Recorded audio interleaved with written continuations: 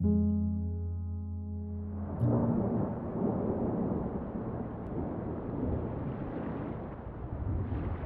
were rowing.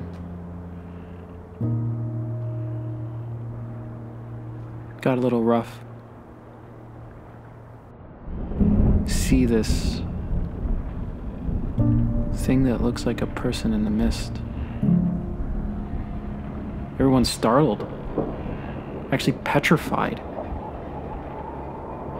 Jesus is walking on water? Jesus says something that all of us know, but don't expect to hear coming from Him.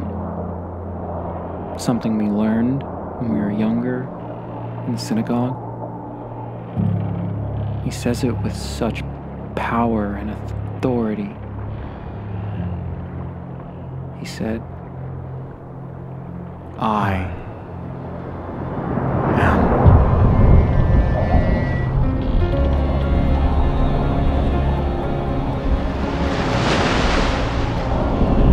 They then say to him, Jesus, Lord, if it's you, me come to you. So I started to walk on water. What? I'm walking on water? I got scared because the wind and the waves were blowing up on me, and I realized I was just walking on water.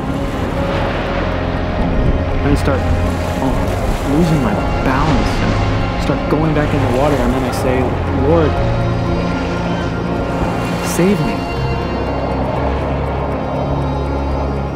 And then Jesus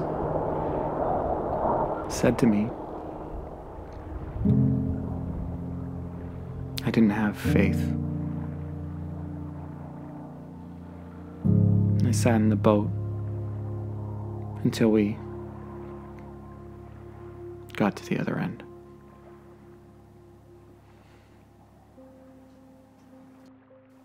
We were all following Jesus.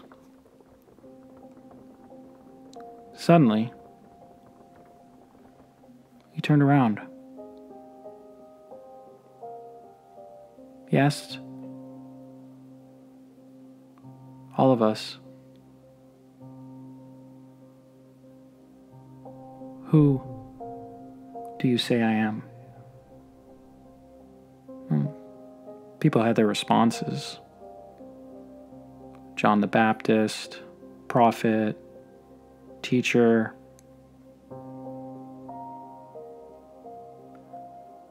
But something in my heart and in my soul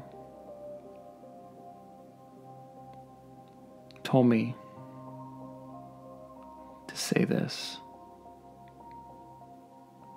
You are the Christ, you are the Messiah, you are our Savior, you are the one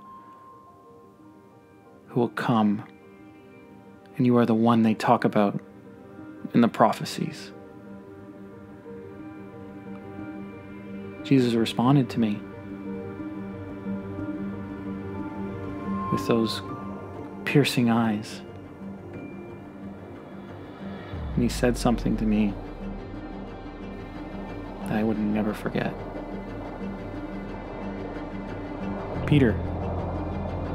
He said my name.